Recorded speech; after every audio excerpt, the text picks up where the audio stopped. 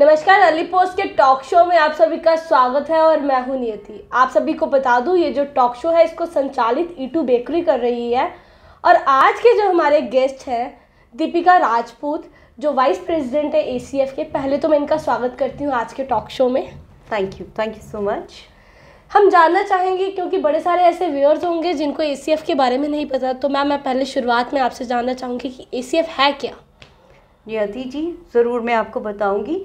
ये एसीएफ का full form है एंटी करप्शन फाउंडेशन ये एक ऐसी संस्था है जो आजकल के डे टू डे लाइफ में जितनी करप्टनेस जो चल रही है लाइफ में जितनी भी आप देख लीजिए जो भी सोसाइटी में बुराइयाँ चल रही हैं उसको इरेडिकेट करने के लिए ये संस्था जो है काम कर रही है। मैम इसमें क्या क्या काम होता है? एग्जैक्टली exactly क्या काम किया जाता है? देखिए नियति जी मैं आपको सबसे पहले एक चीज़ बताऊँ कि काम करने से पहले कोई भी एक्शन लेने से पहले हमें उस चीज़ का अवेयरनेस जो है वो पब्लिक को शो करना पड़ता है। हम ये जो ड्रग्स चल रहा है जैसे आप करप्शन चल रही है ये सब चीज़ें चल तो रही हैं। आम ज़िंदगी की लाइफ में चल रही हैं बट हमारा काम क्या है? कि ये बुराई है और इसके बारे में हमें उनको अवेयर करना है कि आप जो कर रहे हैं, अगर आप किसी को ब्राइब कर रहे हैं या आपसे कोई एक्सेप्ट कर रहा है या दे रहा है या आपसे कोई मांग रहा है या किसी भी किसी भी तरीके की एक्सेप्टेंस जो है, ये बुराइयाँ जो है, वो समाज में नहीं होनी चाहिए।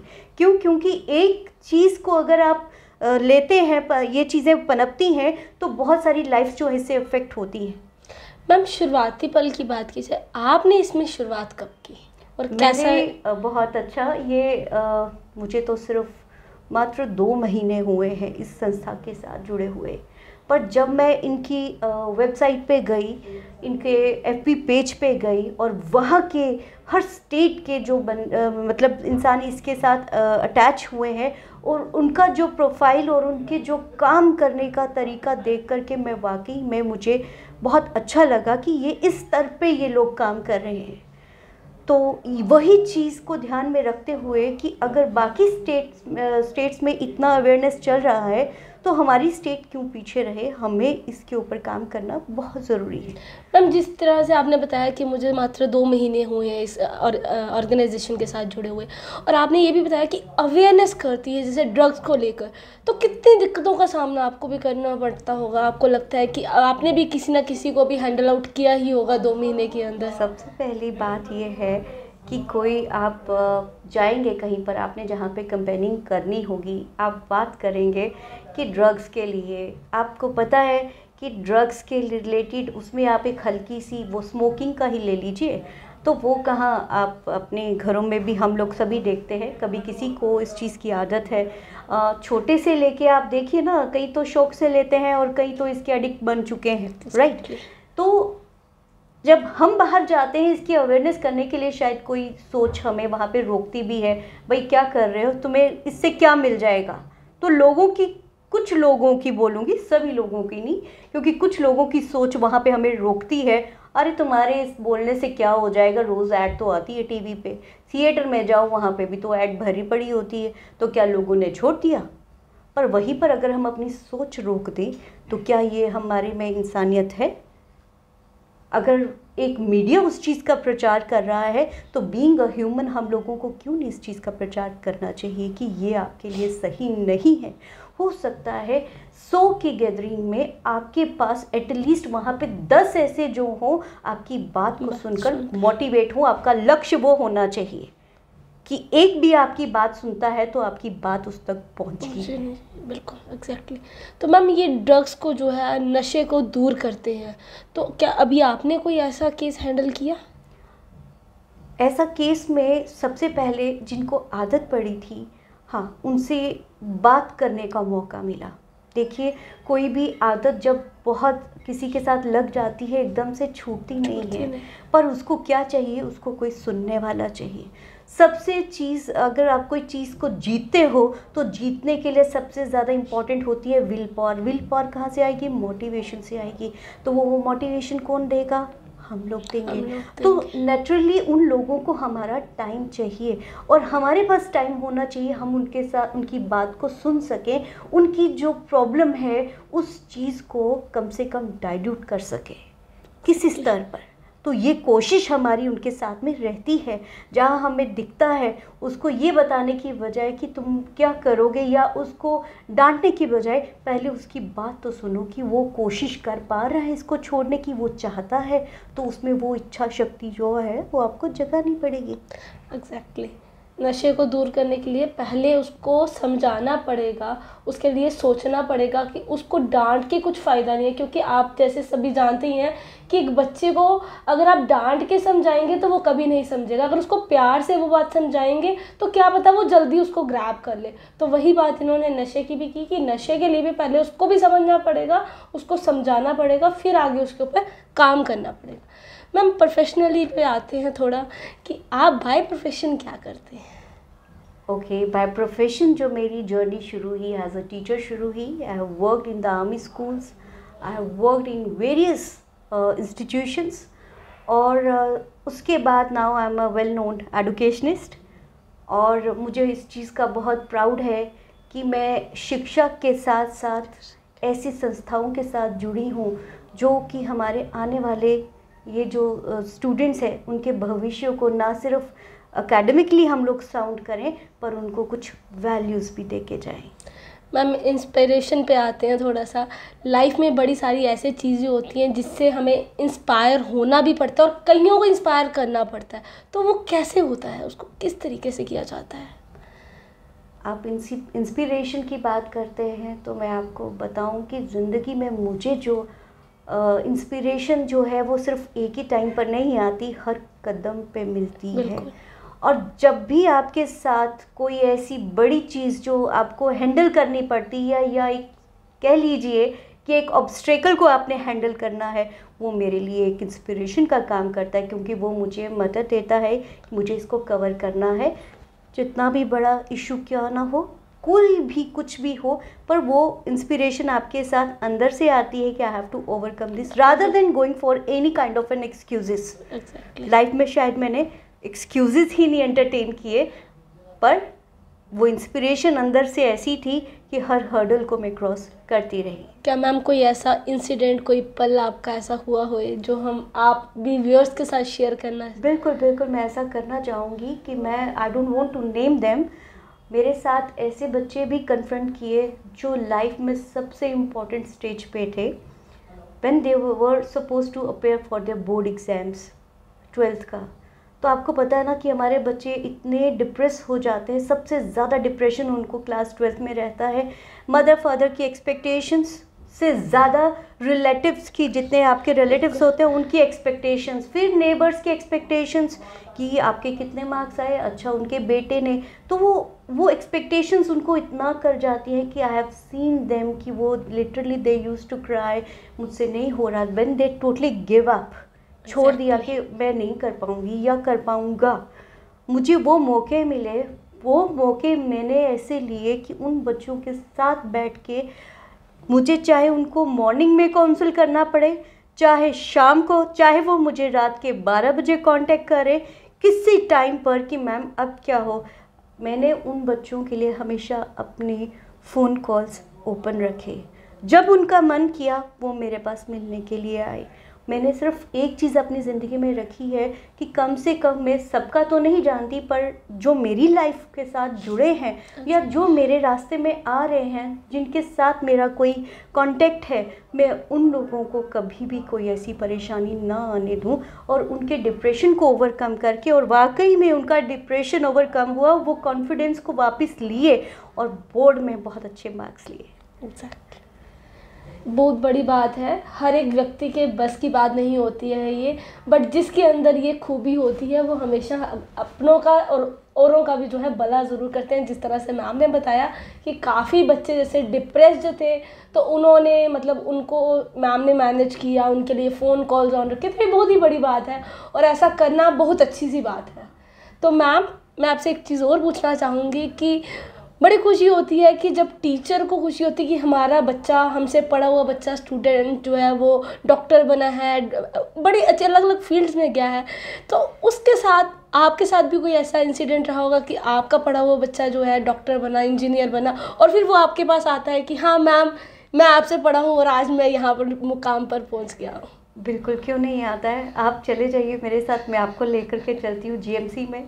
बहुत सारे मेरे पूरे एक बैच बैठा है जो मैक्सिमम स्टूडेंट्स जो है वो सिलेक्ट हुए थे एम uh, के लिए। इतने सारे बच्चे हैं जो अब आपके इंजीनियरिंग के लिए सिलेक्ट हुए। जब वो आते हैं गर्ल्स के से तो हम चरण स्पर्श नहीं करवाते वो तो हम हमेशा उनको गले लगाते हैं। पर बॉयज़ जब चरण स्पर्श करते हैं तो दिल में एक ऐसा एहसास होता है कि ये अपना बच्चा है है ना? तो वो रिगार्ड लगता है कि जैसे ये मेरा अपना बच्चा है इसने मुझे इस चीज़ का रिगार्ड दिया। ये तो मुझे बच्चे रिगार्ड देते हैं पर आई हैव सीन कि मेरी लाइफ में कुछ मेरे साथ एजुकेशन इंडस्ट्री में जब टीचर्स जुड़े जब वो मैं उनको ट्रेन कर रही थी तो उन टीचर्स वो मेल टीचर्स जब मेरे पैर छूते हैं तो ज़िंदगी में ऐसा लगता है कि वाकई में मैंने ज़िंदगी में कुछ कमाया है। तो एज के हिसाब से नहीं नेक्स्ट जो आपके सामने खड़ा इंसान अगर आपकी इज़्ज़त करता है तो वहीं पे आपको लगता है कि आप ज़िंदगी में कुछ अचीव कर पाए। नो no डाउट आपके क्रिटिसिज्म के लिए बहुत सारे बहुत लोग भी खड़े होंगे। exactly. पर अगर आप दिल से सोचते हैं कि आप किसी का बुरा नहीं कर रहे ज़िंदगी में हमेशा किसी को सही दे के जा रहे हैं तो वो आपको सामने दिखाई देता है। वो आपके लिए दो बोल जो है वो आपके पीठ पीछे आपको सुनने को मिल जाते हैं। मैम, युवाओं की बात की जाए तो इस समय जो युवा हैं, वो नशे की ओर जा रहे हैं। बड़े सारे ऐसे युवा आपको जगह जगह पे बच्चे दिखेंगे ड्रग्स ले रहे हैं स्मोक कर रहे हैं। तो क्या लगता है कि इसके पीछे क्या रीजंस हैं? क्यों बच्चे जो है इस तरफ़ जा रहे हैं? वाई नॉट अपनी स्पोर्ट्स फ़ील्ड आर्टिस्ट फ़ील्ड भी हैं, उस तरफ़ नहीं जा रहे और नशे को जो है अडिक्ट कर रहे हैं इतना? दो तरीके के बच्चे आपको मिलेंगे। एक, जो को, जो बच्चे पेरेंट्स ने पैम्पर किए हैं उन्होंने ये देखा कि हमारी ज़िम्मेदारी बच्चे को सिर्फ़ पैसा देना है। कितना मुँह से माँगता है, उतने दे दो शायद उसको ज़रूरत है। वो बच्चा उसको कैसे इन्वेस्ट कर रहा है, उसकी उनको कोई जानकारी नहीं है। तो नेचुरली जब आपके पास ज़रूरत से ज़्यादा कोई चीज़ किसी के भी हाथ में होगी, वो आपको गलत ही चीज़ करने को इंस्टिकेट करेगी। तो हमारे बच्चे वो उस पैसे का गलत मिसयूज़ करेंगे। क्योंकि दूसरे दो दोस्त को भी पता चलेगा इसके पास इतने पैसे हैं why not to make that child to be in this field वहाँ पे खींच के लेके जाएँगे।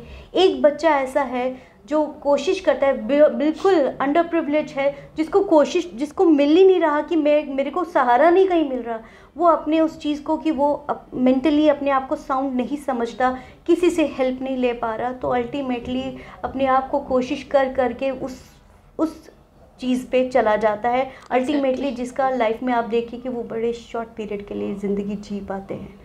Right right. और एक वो है जो शौक से करते हैं देखते हैं कि अच्छा ये सोसाइटी है। अरे तुम तो ऐसा नहीं करोगे तो तुम तुम्हें इस क्लास में नहीं मानेंगे। अरे इस जगह एंटर होना इस क्लब में एंटर होना you should have some cigarette वगैरह देयर इन योर हैंड तो आपको एक वो दिखेगा कि आप smartness this is kind of a smartness to have a drink it's a kind of a smartness so ये चीज़ें ना जो आपको बाहर की चीज़ें वो अट्रैक्ट करवा रही हैं उन बच्चों को करवा रही हैं वो सोसाइटी बच्चों को एक्स्ट्रा पैसे जो दे रहे हैं और कुछ ऐसे बच्चे जिनकी बात जो है वो अपनी बात को दूसरे तक नहीं पहुँचा पा रहे जो इंट्रोवर्ड हैं जो दिल में रखते हैं। तो एग्जैक्टली exactly हर कोई इस चीज़ इस दर्द से छुटकारा चाहता है। तो ये चीज़ें हैं ये कुछ सोशल कॉजेज़ हैं जहाँ हमारे बच्चे इस चीज़ को नहीं समझ पा रहे।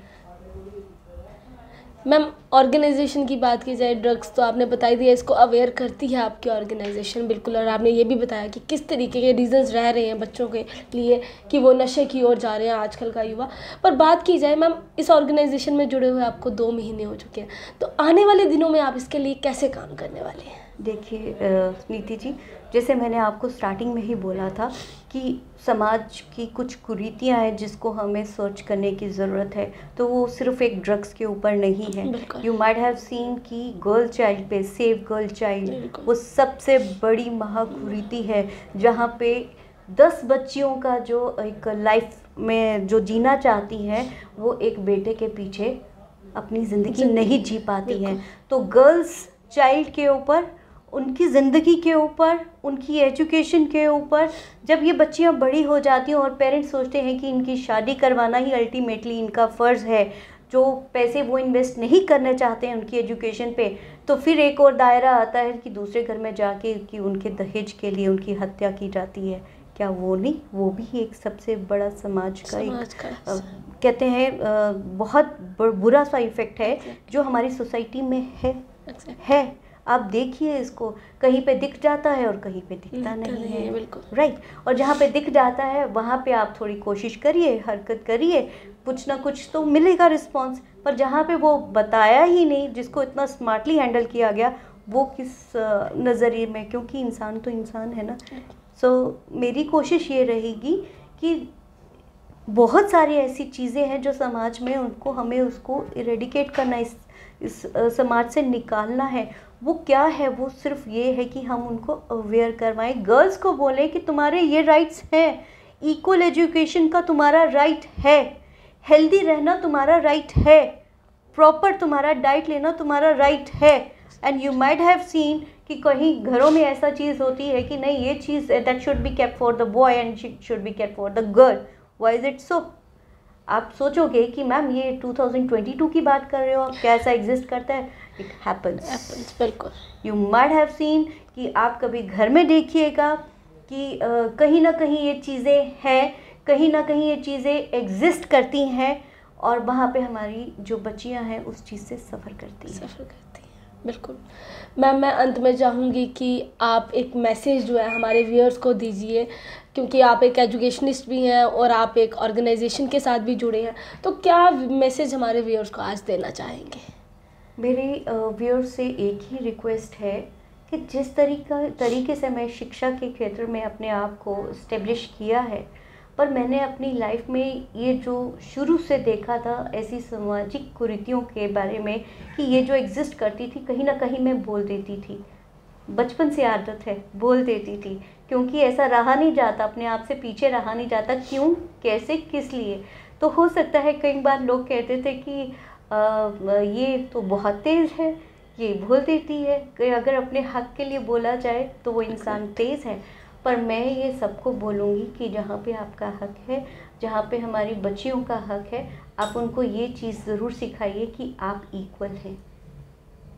आप इक्वल हैं। बॉयज़ तो एक घर का चलाते हैं गर्ल्स दो घर को चलाती हैं। तो वो हमेशा याद रखिए गर्ल्स को सोसाइटी में उतनी ही रिस्पेक्ट दीजिए जितना आप एक मेल के लिए एक्सपेक्ट करते हैं। थैंक यू बहुत अच्छा लगा मैम आज आपसे बातचीत करके और आप लोगों ने भी सुन लिया। मैम का भी यही कहना है और आज के समाज में भी यही कहना है क्योंकि सारी तरफ़ बेटी पढ़ाओ, बेटी बचाओ की बात भी की जा रही है।